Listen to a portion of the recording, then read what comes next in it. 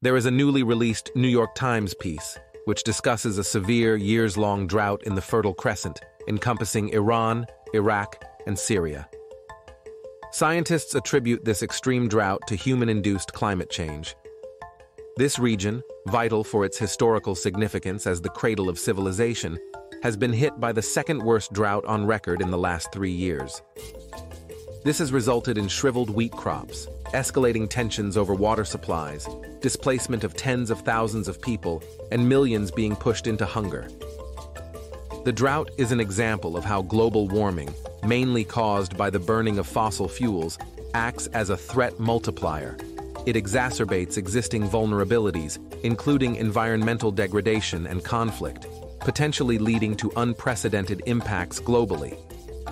Researchers found that while climate change did not significantly affect rainfall, it has made high temperatures, which exacerbate drought conditions, much more likely in the region. For instance, these high temperatures are now 16 times more likely in Iran and 25 times more likely in Iraq and Syria. These high temperatures increase evapotranspiration, water evaporation from soil, water bodies, and plants, causing dry conditions. This phenomenon, combined with a lack of rainfall, results in what is termed an agricultural drought. The researchers argue that if humanity had not released vast amounts of heat-trapping gases into the atmosphere, the current weather conditions in the Fertile Crescent would not be severe enough to be considered a drought. Moreover, the Middle East has been particularly vulnerable to climate change effects, suffering from almost continuous drought since 1998. The situation is further aggravated by political instability, poor governance over water resources, inefficient irrigation techniques, and rapid urbanization, which strains the already insufficient water infrastructure in Iraq, for instance, a significant majority of households have faced water shortages, with some completely running out of water.